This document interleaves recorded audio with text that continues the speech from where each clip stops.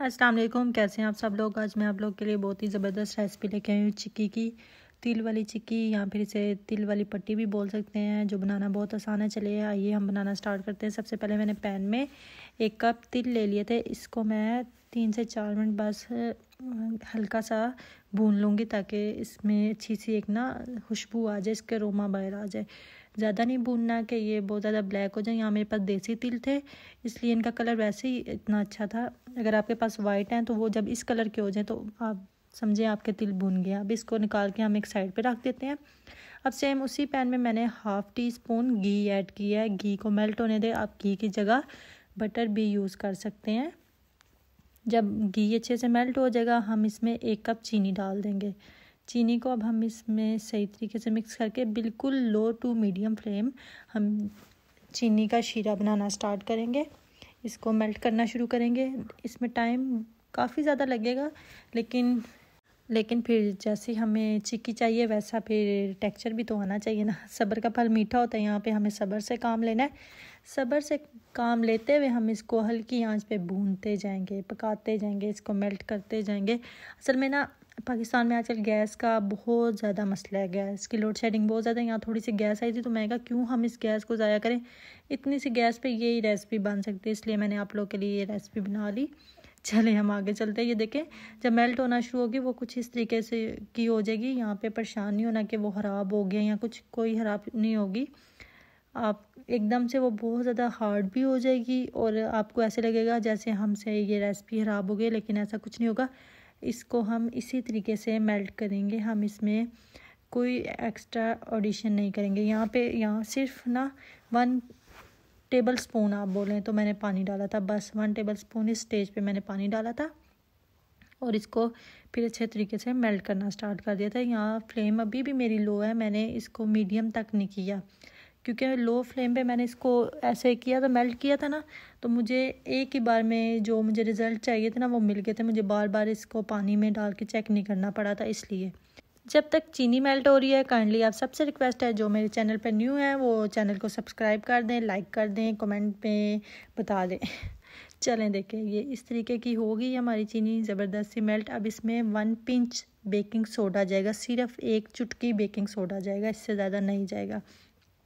Baking soda डालने के बाद देखें, चीनी कुछ इस तरीके की हो जाएगी। डार्क इसमें जागाना शुरू हो जाएगी, और समझ जाना आपका यहाँ पे ये बिल्कुल तैयार है, यहाँ पे आपका शीरा ना तैयार है। अब हम इसको चेक करेंगे पानी में डाल के। इसको देखें, मैंने पानी में डाला और चेक करूँगी। ये देखें, मेरा फ़र्स्ट टाइम में बिल्कुल सही कड़क वाला बन गया था। अब इसमें मैंने जो तिल को भून के रखा था ना साइड पे, वो डाल देंगे। डालने के बाद हम इसको मिक्स कर लेंगे। यहाँ पे अब इस चीज़ का आपने ध्यान रखना है। यहाँ पे नीचे जो चूल्हा है वो बिल्कुल बंद है। चूल्हा बिल्कुल ऑन नहीं है। वो मैंने बंद कर दिया हुआ है। जैसे ही मेरी ये चीनी मेल्ट हुई है ना मुझे उसका रिज़ल्ट सही मिला मैंने उसको ऑफ़ कर दिया था चूल्हे को। अब यहाँ पे हमने इसको अच्छे तरीके से ना ए, मतलब मिक्स कर देना है। दोनों को एक जान बना देना है। अलग अलग हमें नज़र ना आए। जैसे ये साइड पे भी लग है ना वैसे ना हो। जैसे ये अब आपको नज़र आ रहा है ना कि दोनों चीज़ें एक साथ हो गई हैं। हमें बिल्कुल इस तरीके का ही टेक्सचर चाहिए। चलें आपने साथ ही ना एक वुड का कोई भी चीज़ लेनी है, उस पर आपने ऑयल डाल के उसको अच्छे से ब्रश कर लेना है, ज़्यादा सा ऑयल डालना है, ठीक है? ताकि इसके साथ चिपका ही ना रहे, आराम से जब हमने उसे उतारना है तो उतर जाए। ये हमने काम गरम गरम ही करना है, ये ना हो इसको हमने ठंडा नहीं होने देना पैन में, वरना ये पैन के साथ चिपक जाएगा, ये काम जल्दी जल्दी वाला है। फिर जल्दी जल्दी मैंने इस पर डाल के इसको सेट कर दिया था, क्योंकि यहाँ पे मुझे मोटी लेयर नहीं चाहिए थी पतली लेयर चाहिए थी, फिर इसलिए इसको अच्छे तरीके से फैला लें आप लोग। जैसे आपको वीडियो में नज़र आ रहा है, अगर आप ऐसा करना चाह रहे हैं तो ऐसा कर लें, नहीं तो जैसे आपको बेहतर लगता है, आपके दिमाग में जो आइडिया आता है, आप उस उस तरीके से भी कर लेते हैं, कोई ज़ोर ज़बरदस्ती नहीं है। बिल्कुल जैसे ये देखें। अब इसको मैंने बिल्कुल सेट कर लिया था। हो जा भाई सेट यहाँ से भी, साइडों से भी सेट कर लिया था। अच्छा मैं आपको फिर यहाँ पे बता दूँ, हमने यहाँ पे मोटी लेयर नहीं लगानी, हमने यहाँ पे पतली लेयर ही लगानी है। ये ना हो कि सारा एक जगह फेंक दें आप लोग, बस जी, हमारा सेट हो गया, ऐसा नहीं करना। अच्छा अब गरम गरम कोई ना, आपने उसका पीसीज में कट कर लेना है, निशान लगा लेने और सही डार्क वाले निशान लगाने, ये नहीं कि बस हल्के हल्के निशान लगाने, नहीं डार्क वाले निशान लगाने, फिर उतर, जब ये वो हो जाएगी ना, ठंडी हो जाएगी, फिर आपको ना उतारते हुए मसला नहीं बनेगा।